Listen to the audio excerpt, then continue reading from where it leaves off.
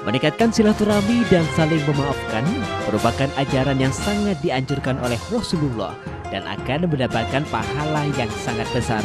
Anjuran Rasulullah tersebut dipegang teguh Wali Kota Jambi Sarif Fasya.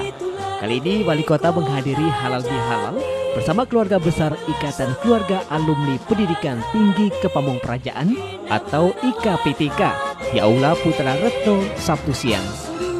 Ketua IKPTK Kota Jambi, Jan Ismar mengatakan, sudah banyak perhatian yang dilakukan oleh Wali Kota Fasya kepada IKPTK.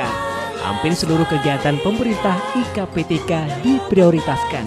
Dan Ismar menilai Wali Kota Fasya adalah orang yang tegas, cerdas, dan visioner dalam melaksanakan roda pemerintahan. Pengurus IKPTK siap membantu Wali Kota Fasya dalam melaksanakan pemerintahan. Sudah melihat apa yang dia lakukan, apa yang berbuat. Apa kata Pak Tito tadi tidak bisa, tidak bisa mengatakan hal yang tidak mendukung untuk hidup negara. Baik dalam segi apa pun juga. Tapi ini mari kita sama-sama uh, mendukung beliau baik dalam segi pemerintah.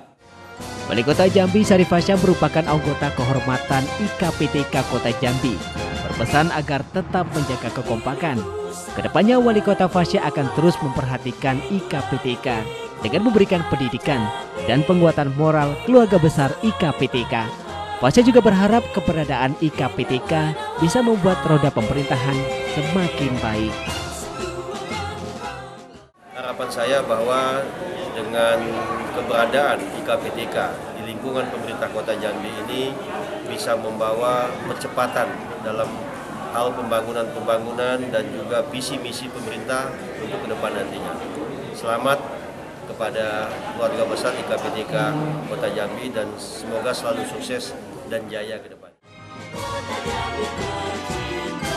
Bahtiar Abi, Jambi TV.